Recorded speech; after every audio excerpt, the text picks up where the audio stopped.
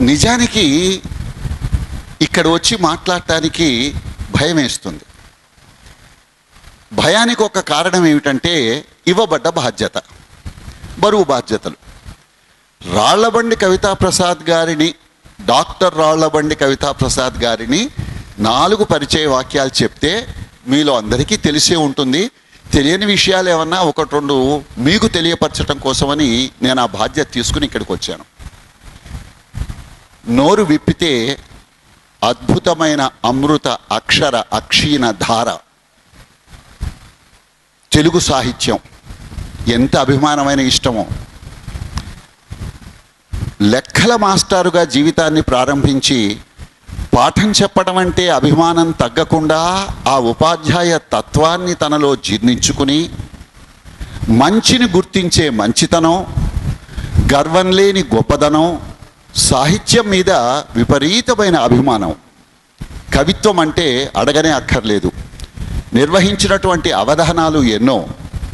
ప్రపంచ మహా తెలుగు సభల లాంటిది దాదాపు ఒక్క చేతి మీద తక్కువ వ్యవధిలో ప్రభుత్వం ఎలా పనిచేస్తుందో మీకు తెలుసు. అయినా ఆ ప్రభుత్వంలో తాను ఒక భాగమై director department of cultural affairs of Andhra Pradesh నేను అనుకుంటాను తెలంగాణ అదృష్టం కొద్దీ ఇప్పుడే అడిగాను నేను తెలంగాణకి కేటాయించబడ్డ రాళ్ళబడ్డి కవితా ప్రసాద్ గారు. పోతన నావాడని వేమన నీవాడని నన్నయ్య మీవాడని కాళోజీ నావాడని మరొక్కరు మరొక్కరని అనుకోకుండా అచ్చులు హల్లులను రెండింటిగా విభజించటానికి అవకాశం లేని సాహిత్య సాంస్కృతిక సంస్కృతి సంప్రదాయాలను సంపదను కాపాడుకోవలసిన తరుణం ఇది. ఎందుకు నేను ఇలా మాట్లాడుతున్నానంటే ఎంత సహృదయంతో ఆయన అంటే ఆయనతో పరిచయం ఉన్నటువంటి వాళ్ళు నాకు కొంత భాగ్యం ఉంది అందుకని. అసలు గర్వం కనబడదండి.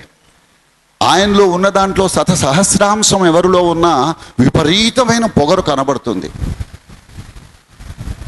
కవి సామ్రాట్ విశ్వనాథ్ సత్యనారాయణ గారి గురించి దిషణహంకారం అని చెప్పని చెప్పేవారు. చెల్లింది కొందరికి. కానీ ఎంత ఎదిగితే అంత ఒదిగి ఉండాలనేటువంటి దానికి నిలువెత్తు సాక్ష్యం రాళ్ళబండి కవితా ప్రసాద్ గారు. సరే పలానా రోజు పుట్టారు పలానా ఇది అవన్నీ కాదు కానీ అచీవ్మెంట్ ఏమిటి అని చెప్పని అడిగితే మన సాయిబాబా గారు నిర్ణయించినటువంటి ప్రోఫార్మాలో ఏ హ్యాపీ మ్యాన్ అని చెప్పని అన్నారు. అభినందించొద్దు ఇది. మీరు చప్పట్లు కొట్టాల్సిన పాయింట్ కదా. మూడు నాలుగేళ్ళ నుంచి తొంభై ఏళ్ళ వాళ్ళ వరకు ఎవరిని కదిలించినా ఒక పెద్ద లిస్టు జోబులో ఉంటుంది. కావలసిన కోరికలు నిన్ను ఐఎమ్ అన్హ్యాపీ అనే చెప్తూ ఉంటాడు. అలాంటిది హ్యాపీ మ్యాన్ అని తనను తాను అనుకోవటం.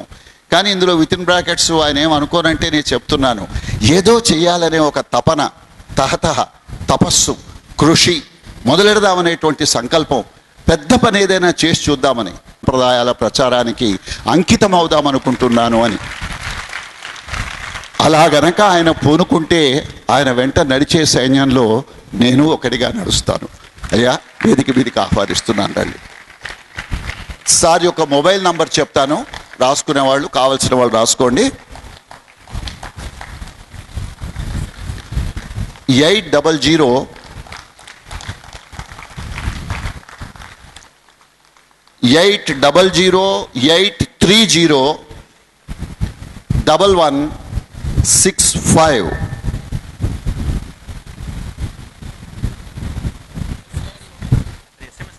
SMS only చేయమని ప్రార్థన. ఎందుకంటే సార్ మీటింగ్లు వాటితో బిజీగా ఉంటారు. మీరు ఫోన్ చేసి మీకు ఇష్టం వచ్చిన పద్ధతిలో మీకు ఇష్టం వచ్చిన టైంలో డిస్టర్బ్ చేయటం మర్యాద కాదు. ఎస్ఎంఎస్ చేయండి. విషయం క్లుప్తంగా చెప్పండి. సందర్భాన్ని బట్టి ఏ కారులో ప్రయాణం చేస్తున్నప్పుడు ఆయన మీకు రిప్లై ఇచ్చేస్తారు. Okay? Thank you God bless you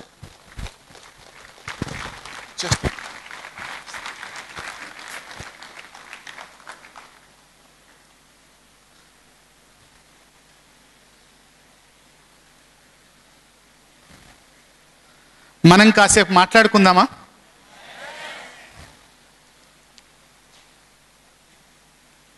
ఇవాళ ఇంపాక్ట్ అనేది హైదరాబాద్కే పరిమితం కాకుండా భారతదేశం మొత్తం దీని గురించి మాట్లాడుకుంటోంది. ఇంపాక్ట్ గురించి.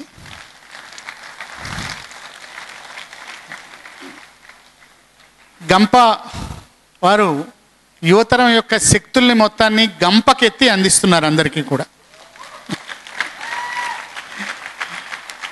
అది ఖాళీ గంప కాదు పూల గంప కొన్ని శక్తుల గంప. ఇప్పుడే డాక్టర్ వంగపల్లి విశ్వనాథం గారు ప్రొఫెసర్ గారు నా గురించి స్నేహం కొద్దీ కొన్ని మంచి మాటలు చెప్పారు. అవన్నీ నిజమైతే బాగుండు అని నేను అనుకుంటున్నాను. ఎందుకంటే నాకు ఇక్కడికి రాగానే ఒక ప్రొఫార్మా ఇచ్చారు. అచీవ్మెంట్ ఏమిటి అని. నువ్వేమి సాధించావంటే నాకు భయం వేసింది. సంతోషంగా ఉండడాన్ని సాధించాను. మీరందరూ సంతోషంగా ఉన్నారా? సంతోషంగా ఉన్నాము అన్న వాళ్ళు ఒక్కసారి చేతులు ఎత్తండి. చాలా సంతోషం. దాదాపుగా డెబ్భై శాతం సంతోషంగా ఉన్నారు. సంతోషంగా లేము అన్నవాళ్ళు చేతులు ఎత్తండి నిజాయితీగా. ముప్పై శాతం. ఒక ప్రశ్న. సంతోషం అంటే ఏమిటి? వెంటనే సమాధానం చెప్పకండి మీరు. మీ అంతట మీరు కూర్చొని సంతోషం అంటే ఏమిటి? దీనికి ఒక కథ చెప్తాను. ఉపనిషత్తుల్లో తైత్రీయ ఉపనిషత్తు అని ఒక ఉపనిషత్తు ఉంది.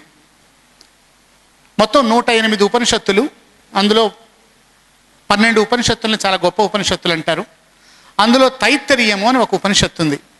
మీలో చాలామందికి అనొచ్చు మేము ఏదో నేర్చుకుందామని వస్తే ఈ దిక్కుమాలిన ఉపనిషత్తులు వేదాంత సారం చెప్తున్నాడు ఏమిటి అని.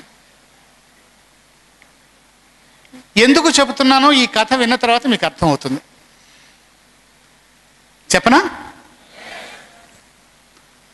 ఒక గురువుగా ఈ తైత్తరీయ ఉపనిషత్తులో ఆనందవల్లి అనే ఒక భాగంలోంచి ఆనందము సంతోషం గురించి ఈ కథ ఉంది. ఒక గురువు దగ్గరికి ఒక శిష్యుడు వచ్చాడు.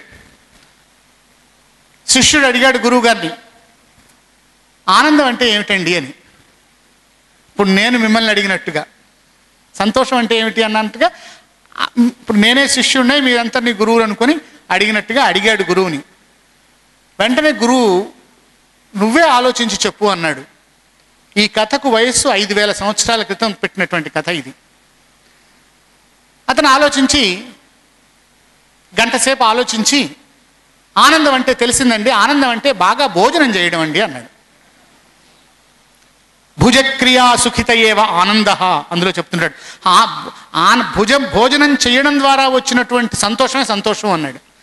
కాదులే నువ్వు మళ్ళీ ఆలోచించుకురా అన్నాడు. భోజనానందం ఆనందం కాదని మళ్ళీ వచ్చాడు శిష్యుడు. భోజనానందం కాదండి. ఆనందం అంటే బాగా నిద్రపోవడం అండి అన్నాడు. నిద్రానందము అన్నాడు. ఎంత బాగుంటుంది చక్కగా మధ్యాహ్నం ఈ సమయంలో ఒక దిండు వేసుకొని ఒక ఏసీ రూమ్ వేసుకొని ఫ్యాన్ వేసుకొని పండుకుంటే ఎంత బాగుంటుంది? కాదులే మళ్ళీ ఆలోచించు అన్నాడు. మళ్ళీ తెల్లవారి పొద్దున వచ్చి నాకు ఆనందం అంటే ఏంటో తెలిసిందండి అన్నాడు. ఏమిటి అన్నాడు. ఆనందం అంటే నా తోటి ఉన్నటువంటి ఒక అందమైన అమ్మాయిని చూసి ఆ అమ్మాయిని ప్రేమించడం ఆనందం అండి అన్నాడు. అంటే సంసారం ఆనందం అండి అన్నాడు. కాదు మళ్ళీ వెళ్ళమన్నాడు. మళ్ళీ కాసేపు వచ్చిన తర్వాత నిన్న మీరు చెప్పింది కాదండి సంగీతం వింటే ఆనందం అండి అన్నాడు. కాదులే పో అన్నాడు. కాదండి జ్ఞానం నాలెడ్జ్ ఈజ్ బాగా ఆనందంగా ఉందండి అన్నాడు. కాదులే పో అన్నాడు. దేవాలయానికి వెళ్ళి పూజ చేస్తే ఆనందం వస్తుందండి అన్నాడు. కాదులే వెళ్ళు అన్నాడు. నా ఇతి నా ఇతి ఇది కాదు ఇది కాదు ఇది కాదు ఆనందం. మళ్ళీ వచ్చాడు నేను మెడిటేషన్ చేస్తున్నాను తపస్సు చేస్తుంటే ఆనందం అండి అన్నాడు. కాదులే పో అన్నాడు. మరి అసలు ఆనందం అంటే ఏమిటి? వెళ్ళిపోయిన తర్వాత మళ్ళీ ఈసారి తెల్లవారి పొద్దున రాలేదు అతను అడగడానికి. మూడో రోజు కూడా రాలేదు. గురువు గారే వెతుక్కుంటూ ఆయన ఇంటికి వెళ్ళాడు. ఏమయ్యా మీ అబ్బాయి ఎక్కడున్నాడు? నా దగ్గరికి రాలేదు అని. ఏమోనండి కనిపించటం లేదు మాకు అని. ఏం నా దగ్గరికి రాలేదు ఇంట్లో లేడు ఎక్కడికి వెళ్ళాయంటే అడవిలోకి వెళ్ళగా చూశానని అడవిలోకి పెడతాడు. అడవి మధ్యలోకి వెళితే అక్కడ ఒక పెద్ద పాడుపడ్డ బావి ఉంటుంది. దాని పక్కన ఒక దేవాలయం ఉంటుంది. దేవాలయం అంతా వెతుకుతారు. బావిలో పెడితే ఆ బావిలో కూర్చొని ఉంటాడు వీడు. బావిలో దిగుడు బావిలో కూర్చొని హాయిగా గోడకు చారిగిలబడి ఉంటాడు. ఏమిట్రా నీకు తెలిసిందా? ఆనందం అంటే తెలిసిందండి అన్నాడు. మరి తెలిస్తే నాకు చెప్పడం చెప్ప చెప్పడానికి రావాలి కదా? నువ్వు రాలేదు. కాదండి. ఏ ఏ సంతోషాన్ని పొందితే ఇంకా ఏది అక్కర్లేదనిపిస్తుందో అది ఆనందము అని అన్నాడు. నేను ఇన్నాళ్ళు ఒకటి పొందిన తర్వాత ఇంకోటి కోసం వెతుకుతున్నాను. ఇక్కడికి వచ్చాక నాకు అర్థమైంది నేనేమిటో. కాబట్టి నీ దగ్గరికి రావాల్సిన అవసరం లేదు. ఈ కథలో ఉన్న ఆంతర్యం ఏమిటంటే మనం ఏదైతే సాధిస్తామో సాధించాలనుకుంటున్నామో సాధించబోతున్నామో అది పొందిన తర్వాత ఇక దాని తర్వాత ఏమి ఉండకూడదు. అది అల్టిమేట్ అంటూ ఉంటాడు. అక్కడి నుంచి ఆలోచన మొదలెడదాం. నేను అడిగాను వంగపల్లి విశ్వనాథం గారిని డాక్టర్ వంగపల్లి విశ్వనాథం గారిని గంపవారిని మా సాయిబాబా గారిని అడిగాను. ఈ పిల్ వీళ్ళంతా ఎవరండి అని. వీళ్ళందరూ కూడా విజయానికి దగ్గరగా ఉన్నవాళ్ళండి. ఏదో గొప్ప సాధించబోతున్నారండి అని చెప్పాను ఎంత నమ్మకంగా చెప్పారంటే మీలో కొంతమంది ఇంటర్మీడియట్ పాస్ అయి ఉండొచ్చు డిగ్రీ పాస్ అయి ఉండొచ్చు పీజీ పాస్ అయి ఉండొచ్చు ఎంఏ పాస్ అయి ఉండొచ్చు ఏదో చిన్న వ్యాపారం మొదలెట్టేసేసి దాన్ని సరిగ్గా నడపడం చేతకాక ఆగిపోయి ఉండొచ్చు. డబ్బులు లేకపోయి ఉండొచ్చు. ఇంటి దగ్గర నుంచి బయలుదేరితే ఇంటి మీద ఆధారపడుతున్నామేమో అనుకోవచ్చు. తల్లిదండ్రుల యొక్క ఇబ్బందులు చూస్తూ ఉండొచ్చు. మనం ఏమి చేయలేకపోతున్నామే అనొచ్చు. గడ్డం పెంచేసుకోవచ్చు. ఏమీ అర్థం కాకుండా ఇంట్లో ఉండకుండా అటు ఇటు పచారులు కొట్టచ్చు. ఏమీ తోచక ఇరానీ హోటల్కి వెళ్ళి టీ తాగుతూ కూర్చోవచ్చు. ఇవన్నీ కూడా ఒక దశ. సీతాకోక చిలుకగా ఎగిరి వెళ్ళడానికి గొంగళి పురుగు ముందు తయారవుతూ ఉంటుంది కూర్చొని. అంతేగాని నేను గొంగళి పురుగులా ఉన్నాను నేను సీతాకోక చిలుకని కాను అని చెప్పేసి ఎప్పుడు అనుకోదు. ఖచ్చితంగా విషయం ఒకటి విషమిస్తే బ్రతుకన్నది మరణించదు. ఒక దాంట్లో ఓడిపోయినంత మాత్రాన బ్రతుకు ఆగిపోదు. విషయం ఒకటి విషమిస్తే బ్రతుకన్నది మరణించదు. ఒక్క చుక్క రాలిపోతే గగనం శూన్యం కాదు. రాలిన పువ్వులు చూసి వృక్షం బావురు అంటే రాబోయే వసంత ఋతువు ఏమైపోతుందంటావు? ఒక ఋతువులో ఒక చెట్టు యొక్క పూలు రాలిపోయాయి. అయ్యో పూలు రాలిపోయాయి. ఇక ఎట్లాగా నేను పూయలేను నా పని అయిపోయింది అని చెప్పేసి ఏ చెట్టు అనుకోదు. మనం ఒక దాంట్లో వెనకబడ్డామంటే దీనికి ఐదంతలు మనం ముందుకు ఎడుతూ ఉంటాం సిద్ధంగా ఉంటూ ఉంటాం. ఆ కథ పక్కన పెట్టి మరొక ముఖ్యమైన విషయంలోకి వద్దాం. ఒకసారి నన్ను ఒక మాట్లాడుతున్నప్పుడు ఏదో ఆర్నిథాలజీ ఆర్నిథాలజీ అని ఎప్పుడైనా విన్నారా? ఆర్నిథాలజీ అంటే వినపెట్టాల? స్టడీ ఆఫ్ బర్డ్స్ పక్షి శాస్త్రం. పక్షులు ఎలా ఉంటాయో అని అడిగారు. చాలా పెద్ద విసరికి నేను కూడా చాలా రకరకాల పక్షులు చూశాను. నన్ను అడిగారు మీకు ఇష్టమైన పక్షి పేరు చెప్పండి అని. మీలో ఈ ప్రశ్న అడిగితే ఇక్కడ ఉన్నటువంటి దాదాపుగా రెండు వేల మంది ఉన్నారు కదా రెండు వేల మంది కలిపేసి దాదాపుగా వెయ్యి పక్షుల పేర్లు చెప్తారేమో. లేదా పది చెప్తారేమో ఒకటి చెప్తారేమో. చెప్పండి సరదాగా మీకు ఇష్టమైన పక్షి పేరు ఏమిటి? చిలక పీక నెమలి కోకిల కాకి గద్ద రాబందు ఆ? కో అక్కడ ఉన్నాడండి అసలైన మనిషి.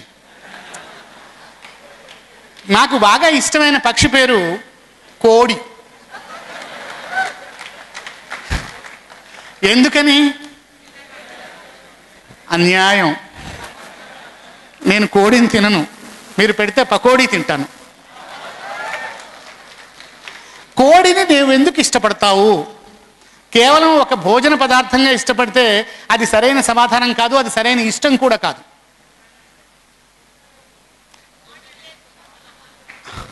అమ్మా? పొద్దున్నే లేపుతుంది కోడి. కోడి పుంజు లేపుతుంది కోడి పెట్ట కాదు.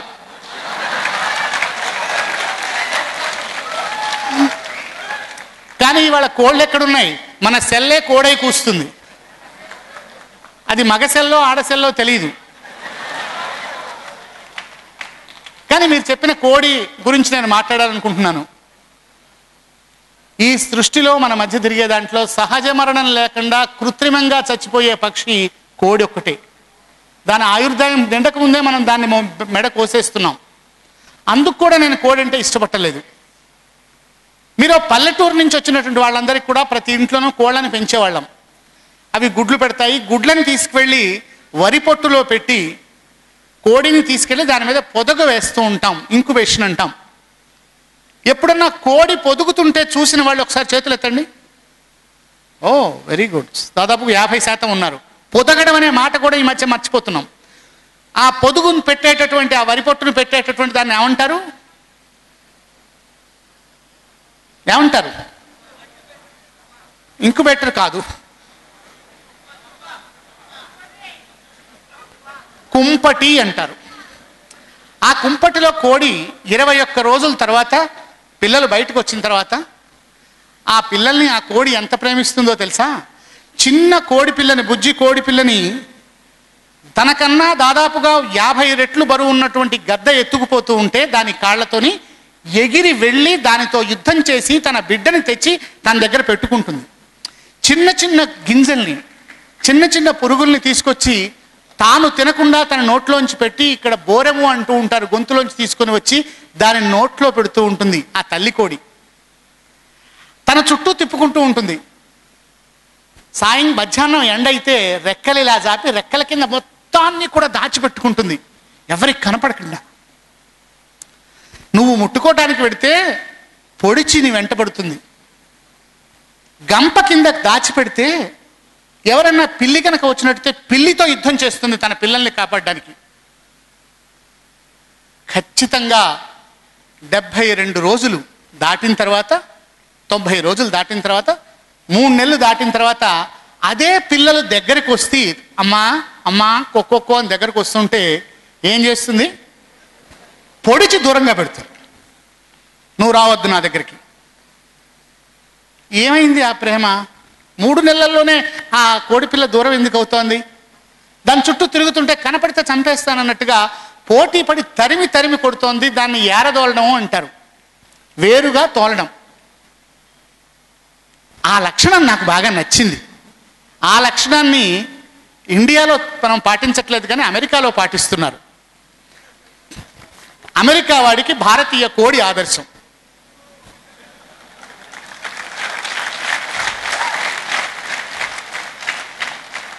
పద్దెనిమిది ఏళ్ళు నిండగానే ఆ తల్లి తండ్రి ఆ పిల్లవాడు ఒక మంచి రెస్టారెంట్కి వెళ్ళి my dear son sayonara from tomorrow onwards you earn your bread don't come to me no dad already I have started I have taken a house నేను ఆల్రెడీ ఇల్లు తీసేసుకున్నాను. What where are you working I'm working in a laundry అరే భయ్ you are a graduate so what so what I'm a graduate from Manchester University or Ohio University University of Texas. I did it. But I work in a laundry. I work in a gas station. Gas station అంటే petrol petrol petrol pump. దానికి తండ్రి ఏమంటాడు? Wonderful my dear son. You did a good job.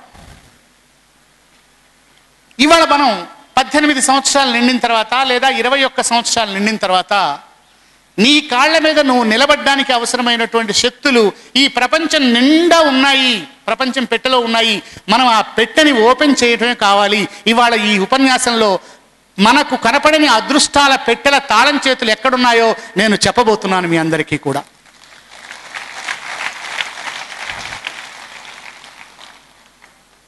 ఇందాక చెప్పినట్టుగా రవీంద్రనాథ్ ఠాగూర్ అఖిలేచలో ఒంటరిగానే వెళ్ళు. ఈ ప్రపంచంలో నువ్వు ఒంటరిగానే సాధిస్తాం. అర్జునుడు ఎప్పుడూ కూడా ఒంటరిగానే యుద్ధం చేస్తుండేవాడు. పక్కన భీముడిని వేసుకెళ్ళాల? అన్నయ్య నాకు కొంచెం తోడురా యుద్ధం చేస్తానని అర్జునుడు అండు. నకులుడు అండు సహదేవుడు అండు. ఒంటరిగానే యుద్ధం చేసినటువంటి వాడే వీరుడవుతాడు అలాగని సమూహానికి దూరంగా ఉండమని చెప్పలేదు నేను. సమూహంలోనే ఉండాలి నీకు నువ్వు సాధించాల్సిన అవసరం ఉంది. ఏమిటయ్యా అదృష్టము? తాయెత్తు ఒకటి కట్టుకుంటే రేపు పొద్దున కల్లా నీకు ఉద్యోగం వచ్చేస్తుంది అంటాడు ఒక ఆయన. నమ్ముతారా మీరు? ఏం తల్లి? ఏడు శనివారాలు ఉప ఉపవాసం కనుక చేసి నువ్వులు దానం ఇచ్చేసేసినట్టయితే నీకు ఖచ్చితంగా లక్ష రూపాయల లాటరీ వస్తుంది అంటారు. నమ్ముతారా? బాగా నో అంటలా ఎక్కడో ఉంది. నో. అలాగే ఈ గుడి చుట్టూరు కూడా ఒక రెండు వందల సార్లు ప్రదక్షిణం చేస్తే నువ్వు అనుకున్నది అవుతుంది.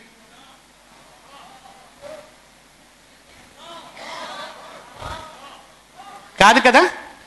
మరి అలాంటప్పుడు గుడికి వెళ్ళటం మానేద్దామా? దానం ఇవ్వడం మానేద్దామా?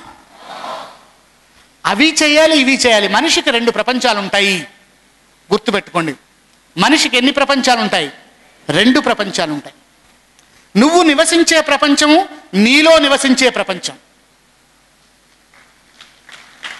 నువ్వు నివసించే ప్రపంచం నీలో నివసించే ప్రపంచం.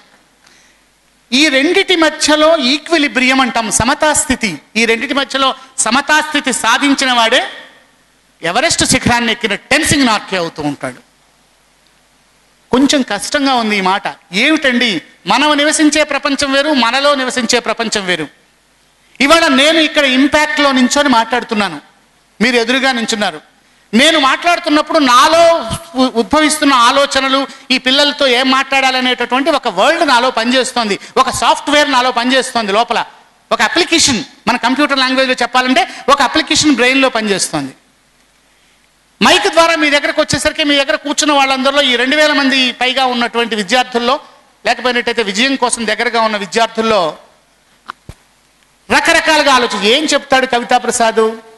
ఇది నిజమా? టైం వేస్టా? మనకేమన్నా ఉపయోగపడుతుందా?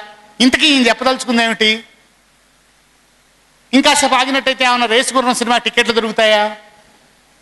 బయటికి వెళ్తే బాగుంటుంది కదా?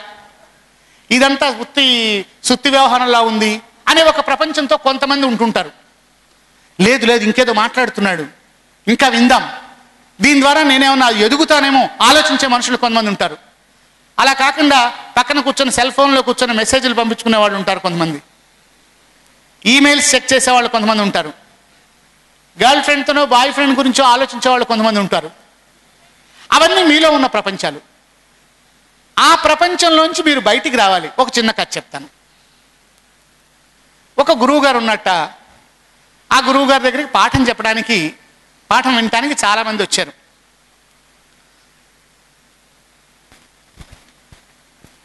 చాలామంది శిష్యులు అక్కడే ఉన్నారు. ఆ గురువుగారి ఆశ్రమంలో ఆ గురువుగారు పెట్టింది తినాలి చెప్పింది వినాలి.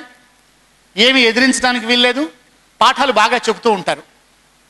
ఆ దేశపు రాజుగారి యొక్క కుమారుడు వచ్చాడు. ఆ రాజుగారి కుమారుడు ఉత్తి బడుద్దాయి వాడికి ఏమీ చదువు ఎక్కలేదు.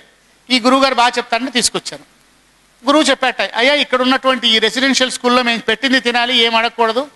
ఇలా గనక ఉన్నట్టయితే రెండు సంవత్సరాల తర్వాత నీ కొడుకు చదువు వస్తుంది మీ ఇష్టం అండి అంటాడు. ఆ కుర్రాన్ని వదిలిపెడతారు మళ్ళీ రెండేళ్ళ దాకా మీరు రావద్దంటారు. ఆ ఆశ్రమంలో నియమం ఏమిటంటే భోజనంలో పచ్చడికి బదులుగా వేపాకు పచ్చడి పెడుతూ ఉంటారు.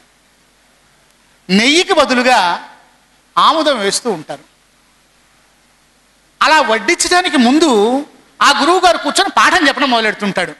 ఎదురుగా వేపాకు పచ్చడి నెయ్యికి బదులుగా ఆమదము అన్నము కలుపుకొని తింటుండాలి ఆ మాస్టర్ పాఠం చెప్తుంటాడు.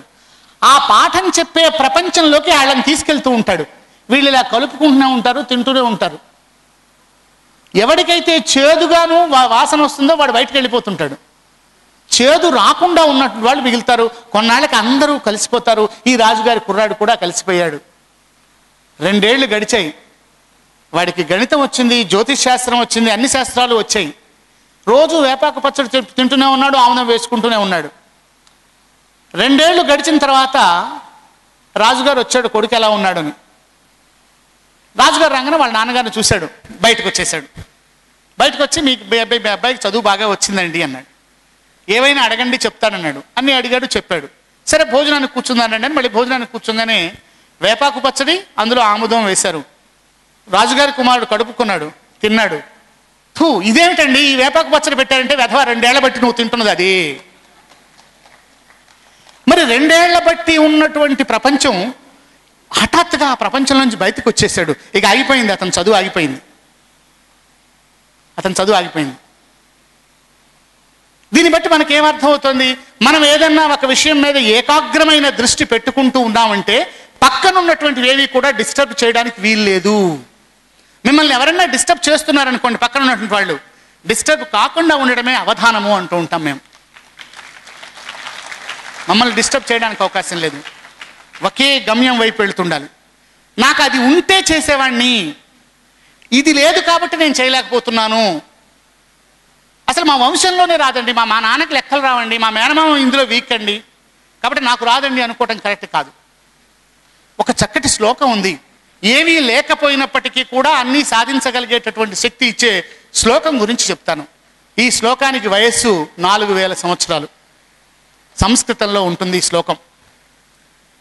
రథస్యేకం చక్రం భుజగయమిత సప్తతురగా నిరాలంబో మార్గశ్చరణ వికల సారథిరపి రవిర్యాచ్యేవంతం ప్రతిదినమపారస్య నభస.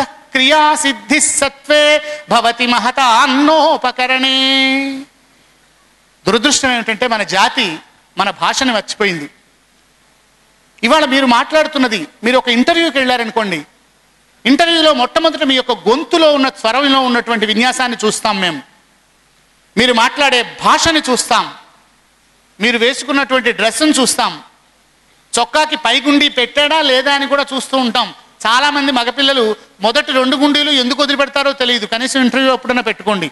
అన్నీ బాగా ఉండి గుండీలు లేకుండా ఉద్యోగం పోగొట్టుకున్నటువంటి విద్యార్థులు నేను చాలామందిని చూశాను. దాదాపుగా యాజ్ డైరెక్టర్గా ఇంత ముందున్నప్పుడు ఇంటర్వ్యూలు చేసినప్పుడు కూడా బాగుంటుంది కానీ మేనర్స్ ఉండదు.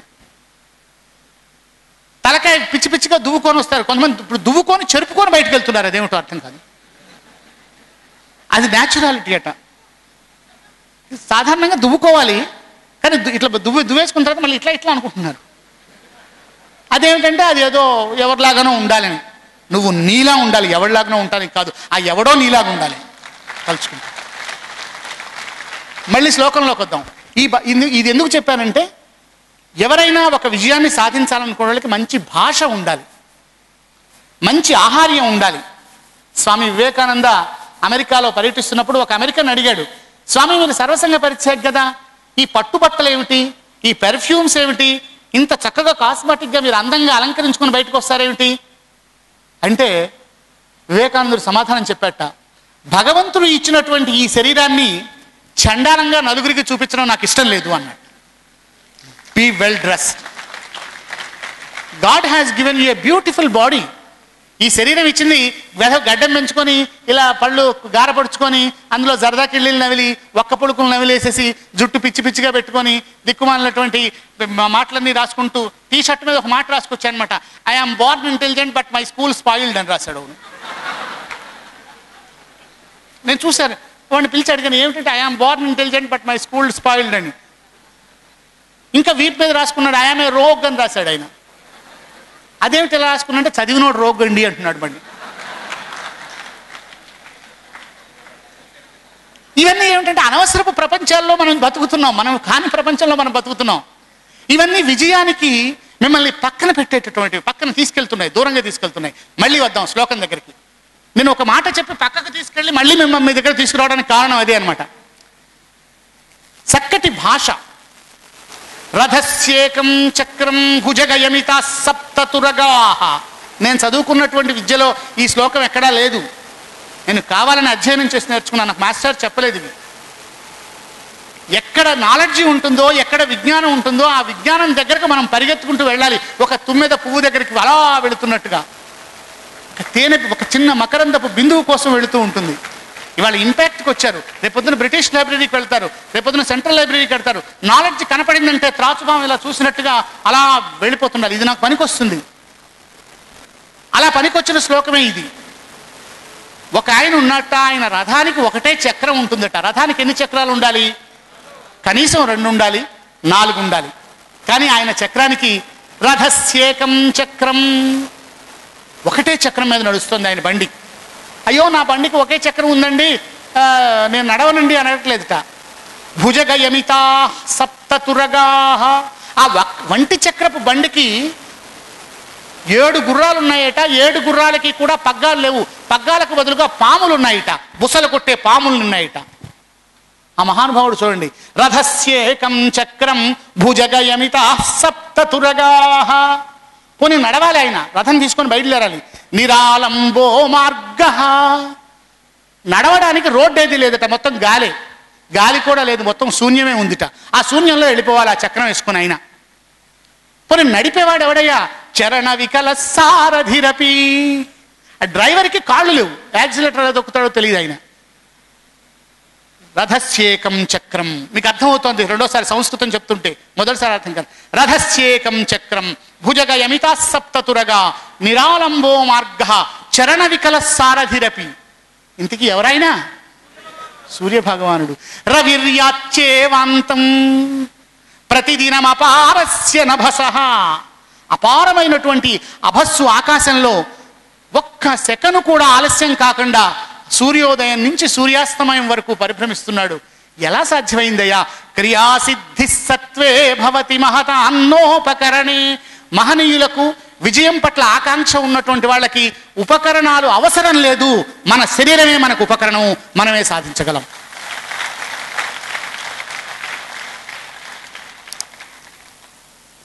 గంగా నది దాటడానికి ఆరు పైసల డబ్బులు లేక పుస్తకాలని చొక్కాని పైజామాని విప్పి పుస్తకాలని తల్లో పెట్టుకొని గంగా నదిని ఈదుకుంటూ అవతలకెళ్ళాడు ఓ పదేళ్ళ పిల్లాడు. నలభై ఏళ్ళ తర్వాత అతను భారతదేశ ప్రధానమంత్రి అయ్యాడు. లాల్ బహదూర్ శాస్త్రి.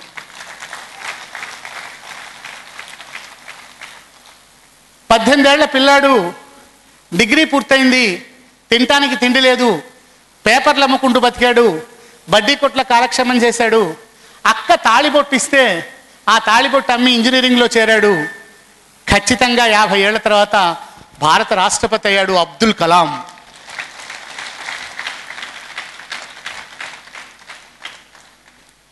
మీరు అనొచ్చు ఒక్కడే ఉంటాడండి అబ్దుల్ కలాం? మేము నేను అబ్దుల్ కలాం అవుతానా? నేను లాల్ బహదూర్ శాస్త్రి అవుతానా? ఎందుకు కాకూడదు? లాల్ బహదూర్ శాస్త్రి అబ్దుల్ కలాం కన్నా గొప్పవాళ్ళే అవడానికి అవకాశం ఉంది మీకు. కానీ మనలో అదృష్టపు పెట్టెలు తలుపు తెరవడానికి అవసరమైన తాళం చేతులు కూడా ఉన్నాయి. పెట్టె ఉంది తాళం చేతులు ఉన్నాయి. కానీ ఏ తాళంతో ఏ పెట్టె తీయాలో మనకు తెలియడం లేదు.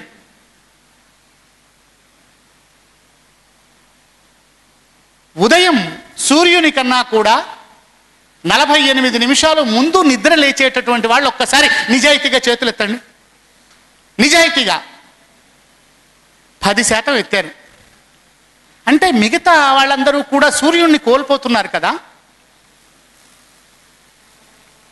ఇప్పుడు నేను కాలం గురించి మాట్లాడదలుచుకున్నాను.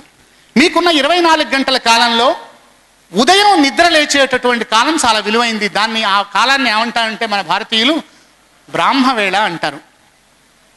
మెదడులో మెదడు మనకు మూడు భాగాలు కదా? మెడు పెద్ద మెదడు చిన్న మెదడు వెన్నుపాము ఉన్నాయి కదా? ఈ మెదడులో పెద్ద మెదడు చిన్న మెదడు వెన్నుపాములో డాక్టర్లను అడిగితే చెప్తారు నిసిల్ గ్రెన్యూల్స్ అనే ఒక కణాలు ఉంటాయి. Nissl granules. ఇవి అందరికీ సమానంగా ఉన్నాయి. మగవాళ్ళకి ఆడవాళ్ళకి అందరికీ అన్ని కులాల వాళ్ళకి బ్రాహ్మణులకి క్షత్రియులకి అందరికీ సమానంగా పెట్టి పంపించాడు. అప్పుడే పుట్టినటువంటి బిడ్డ దగ్గర నుంచి మరణించడానికి సిద్ధంగా ఉన్న వాళ్ళకి కూడా అవే ఉన్నాయి. ఇవన్నీ కూడా మెదడులో ఉన్నటువంటి నిసిల్ గ్రెన్యూల్స్ కణాలు సూర్యోదయానికి నలభై ఎనిమిది నిమిషాల ముందు చాలా ఉత్తేజకరంగా ఉంటాయి. మీకు తెలియదు అది మీ గుండె కొట్టుకున్నట్టే అవి లేచి నిక్కరపడుచుకొని ఉంటూ ఉంటాయి. సూర్యకిరణాల కోసం ఎదురు చూస్తూ ఉంటాయి. శరీరంలో సహజ సిద్ధంగా. మీకు తెలియదు. ఆ సమయంలో ఆలోచించిన ఆలోచనలు ఆ సమయంలో చెప్పినటువంటి చదువుకున్న పాఠాలు ఆ సమయంలో చేసినటువంటి పనులు విజయానికి మొదటి మెట్టవుతాయి. అప్పుడు కోల్పోయిన వాళ్ళందరూ కూడా శాశ్వతంగా కోల్పోతూ ఉంటారు. ఎనిమిది అవుతుంటుంది నిద్ర లేవడవాడు తొమ్మిది అవుతుంది నిద్ర లేవడవాడు బోర్లా పడుకొని దిండుని కావలించుకొని ఇంకా లేవకుండా నిద్రపోతున్నాడు. ఏమిటి? ఉదయకాలం ఎందుకు పోయింది? ప్రత్యామ్నాయంగా రాత్రి పదకొండు పన్నెండు ఒంటి గంటకి మేలుకుంటూ ఉంటుంటారు. అది రాక్షస వేళ. ఆ సమయంలో వ్యతిరేకమైన ఆలోచనలు వస్తూ ఉంటాయి. ఇది శాస్త్రవేత్తలు నిరూపించిన సత్యం. ఒక్కసారి ఒక్కసారి పొద్దుపూట నిద్ర లేచి చూడండి. సూర్యోదయానికి నలభై ఎనిమిది నిమిషాల ముందు నిద్ర లేచి కాలు నేల మీదకి పెట్టినప్పుడు ఒక్కసారిగా నేలకు నమస్కరించండి. మిమ్మల్ని భరిస్తోంది కదా. బయటికి వచ్చి ఆకాశానికి నమస్కరించండి. స్నానం చేయండి. తొలి సూర్యకిరణం ఎంత అందంగా ఉంటుందో తెలుసా? పచ్చిక మీద నడుస్తున్నప్పుడు పచ్చిక ఎంత బాగుంటుందో తెలుసా? ఆ సమయంలో మీ శరీరంలో ఉన్నటువంటి ప్రతి చణువు కూడా శక్తి సమన్వితమైన ఉదాత్త భావాలతో అలంకృతమైనటువంటి ఒక లలిత గీతంలా ఉంటుంది. అందమైన పుష్పంలా ఉంటుంది శరీరం. అలా సమయంలో ముడుచుకొని పడుకుంటే మీలో రాక్షసత్వం వస్తుంది. ఒక కథ చెప్తాను. దీనికి సంబంధించిన కథ. పోయినసారి కూడా చెప్పాను ఈ కథ. అనగా అనగా ఒక ఊళ్ళో పాలమ్ముకునేవాడు ఉన్నట్ట.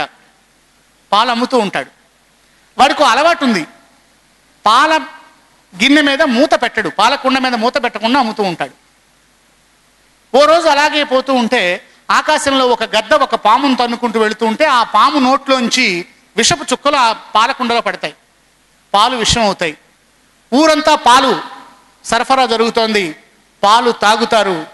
పసిపిల్లలతో సహా పెద్దవాళ్ళతో సహా చాలామంది చచ్చిపోయారు పాలు తాగిన వాళ్ళంతా. ఊరంతా ఓ శ్మశానంలా మారిపోయింది. యమధర్మరాజు వచ్చాడు. అయ్యో ఈ ఊర్లో ఉన్నటువంటి మనుషులంతా పాలు తాగి చచ్చిపోయారు కదా ఈ పాపం ఎవరిది? చిత్రగుప్తుడు పిలిచాడు. పాలు అమ్మిన వాడిదండి పట్టుకొచ్చారు. ఎరా పాలమ్మావు అయ్యా నాకేం తెలుసండి? రెండు సంవత్సరాల బట్టి కూడా మూత లేకుండానే పాలు అమ్ముతున్నాను. ఒక్కడు కూడా చావలేదు. హాయిగా తిని బలిశారు. ఈ పాలు తాగడంతో చచ్చిపోయారు. నాకేం పాపం తెలియదండి అయితే నువ్వు వెళ్ళిపో. మరి ఎవరిది? అందులో విషం కలిపిన వాడిది. విషం ఎక్కడిది? పాముది. పాముది పట్టరండి. ఏమే పామా? నీ విషయాన్ని అందులో పడింది కాబట్టి చచ్చిపోయారు. పాపం నీది. నాకేం తెలుసండి? నన్ను గడ్డ తన్నుకుపోతోంది. ప్రాణాపాయంలో నేనేం చేస్తున్నానో అరుస్తున్నాను. నా కూరల్లోంచి విషపు చుక్కలు బయటకు వచ్చాయి అది పాలల్లో పడతాయా? నీళ్ళలో పడతాయా? నేల మీద పడతాయా? నాకేం తెలుసు? అసలు నా ప్రాణం కోసం ఉన్నాను కాబట్టి ఇది నాది పాపం కాదు అంది. మరెవరిది? పామును సంహరించడానికి పుట్టినటువంటి గద్దది. గద్దని పిలిచారు. ఏం గద్ద? ఆ పామును నువ్వు తీసుకెళ్ళడం వల్లే కదా. అదేమిటండి నేను పుట్టిందే పాములు తినటానికి? నా ఆహారం పాములు? అది తినకపోతే నేను చచ్చూరుకుంటాను? కాబట్టి నాది తప్పు కాదు అన్నాడు. సరే పాలవాడిది తప్పు కాదు పాముది తప్పు కాదు గద్దది తప్పు కాదు. పోనీ తాగి చచ్చినాడదంటే మాకేం తెలుసండి? రోజు తాగుతున్నాం కదా వాళ్ళది తప్పు కాదు. యమధర్మరాజు ఆ రోజు సభను వాయిదా వేసేసి తెల్లవారి పొద్దున్న నిద్రలేచి అలా తిరుగుతూ ఉన్నట్ట అప్పుడు అన్నట్ట ఎవరిదంటే ఈ పాపం పొద్దున్నే నిద్ర లేవకుండా ఉన్నటువంటి వాళ్ళందరి అకౌంట్లో వేసేసేయమన్నట్టు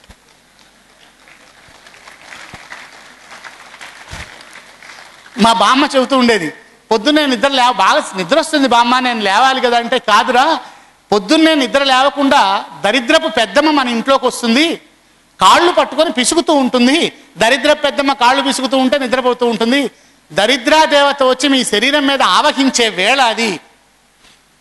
ఇప్పటికైనా ఇంటికి వెళ్ళిన తర్వాత రేపటి నుంచే ఇవాళ జ్యేష్ఠ శుద్ధ సప్తమి రేపు అష్టమి పర్వాలేదు. తిది బాగలేదండి ఎల్లుండి నుంచి నిద్రలేద్దామంటే నెక్స్ట్ డే నా బర్త్డే సార్ బర్త్డే నుంచి చేద్దాం. ఇలా కొంతమంది కాలాన్ని పోస్ట్ పోన్ చేస్తూ ఉంటుంటారు యువకుల్లో. ఇవాళ మనం ఇవాళ వద్దులేండి మనం డెఫినెట్గా ఇప్పుడు విద్యార్థులు కూడా ఖచ్చితంగా చదువుకున్నప్పుడు సినిమా రిలీజ్ అయిన తర్వాత చూస్తాడు పోస్టర్ చూస్తాడు. మరి ఈ ఒక్క ఫిలిం రా ఇది లాస్ట్ ఫిలిము ఇది అయిన తర్వాత ఎగ్జామ్స్ దాకా అసలు మన సినిమా వెళ్ళకూడదు మళ్ళీ రిలీజ్ అవ్వగానే మొదటి టికెట్ వేడిదే ఉంటుంది. కారణం ఏమిటి? మన మనసు మీద మనకు అదుపజ్ఞ లేదనమాట. ప్రతి క్షణము విలువైందే. ఈ రాత్రి ఇంటికి వెళ్ళిన తర్వాత ఎవరైతే ఇక్కడ సూర్యోదయం ఆరు గంటల ఐదు నిమిషాలకు అవుతోంది రేపు పొద్దున నలభై నిమిషాలు తీసేయండి నలభై ఎనిమిది నిమిషాలు తీసేయండి. నలభై ఎనిమిది నిమిషాలు ఏమిటా లెక్క? దిక్కుమాన లెక్క రెండు గడియలు అని. రెండు గడి అంటే ఏమిటి? గడి అంటే ఇరవై నాలుగు నిమిషాలు. ఈ లెక్క మనకి కాదు. మనంతా కూడా దిక్కుమాన లెక్క పాశ్చాత్యుల లెక్క. ఖచ్చితంగా నలభై ఎనిమిది నిమిషాల ముందు నిద్ర లేచినప్పుడు మీ శరీరం వామప్ అవుతుంది. రిసీవ్ చేసుకోవడానికి డివైన్ ఎనర్జీని రిసీవ్ చేసుకోవడానికి దేవతలు ఆకాశంలో తిరిగే వేళ అది. అందుకే వెంకటేశ్వర స్వామి దగ్గరికి వెళ్ళినప్పుడు ఆ గోపురాగ్ర శిఖరాగ్ర నిరీక్షమాణా స్వర్గాపవర్గ పదవీం పరమాశ్రయంతీం దేవతలు వస్తారని ఆ సమయంలో మూసేస్తారు ఆలయం.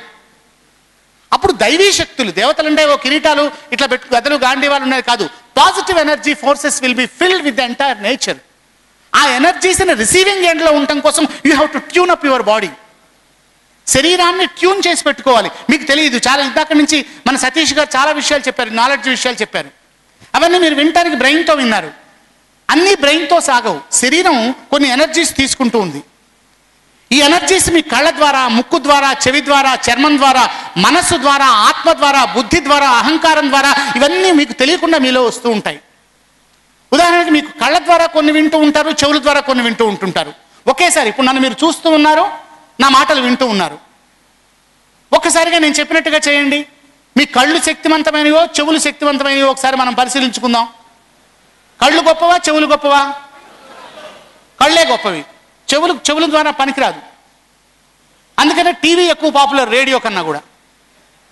కదా? అందుకని బిగ్ స్క్రీన్ ఉన్నటువంటివి కూడా తీసుకుంటూ ఉంటుంటాం. ఒకసారి చేయి పైకి ఎత్తండి చేతులు ముయ్యండి ఒక వేలు తెరవండి. రెండు వేలు తెరవండి. మూడు నాలుగు ఐదు ముయ్యండి మళ్ళీ ఒకటి. ఇలానండి ఇలానండి తీసుకొచ్చి మీ గడ్డ మీద పెట్టుకోండి. బుగ్గ మీద పెట్టుకున్నారు మీరు చాలామంది. అదిగో బుగ్గ మీదనే ఉంది ఇంకా తీయండి కొంచెం. నేను చెప్పింది ఏంటి మీకు? గడ్డ మీద అన్నాను. మీలో సగం మంది కాదు డెబ్భై శాతం మంది బుగ్గ మీద పెట్టుకున్నారు. కారణం కళ్ళు మన మోసం చేస్తున్నాయి.